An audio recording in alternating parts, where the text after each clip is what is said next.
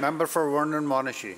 Thank you, Honorable Speaker. Today I rise in this House to extend my best wishes and congratulations to the 2022 grads from Vernon Monashee, their families, and their amazing teachers. Next week on June 10th, the first of our grad classes from Kalamalka Secondary will celebrate, and those from Charles Bloom, Clarence Fulton, W.L. Seaton, Vernon Christian School, and Vernon Secondary School will follow throughout June. Dear grads, as you cross the stage this year, I hope you understand the diploma you receive represents more than 12 years of formal education. It represents the challenges you face, the relationships you built, the skills you honed, and memories you made.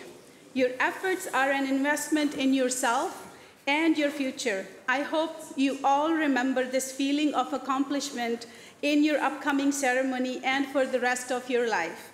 Let this feeling be a light to guide you when things get difficult. You can do anything you set your mind to. This graduation season, I hope you take a moment to reflect on those that helped you to get to where you are.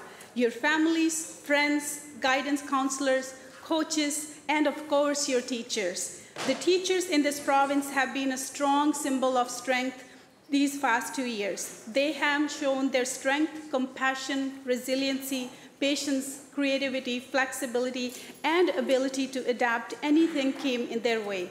I ask you to all reflect on and show your gratitude to your teachers' contribution in your success. I hope your teachers' display of dedication inspires you as you face challenges in the future. You are our future and hope. It is a big world out there. Go out and seize it and do not let anything stop you for, from pursuing your goals. Please join me to commemorate this very important milestone achieved by Vernon Monashee's class of 2022 and all the grads across the province. Thank you.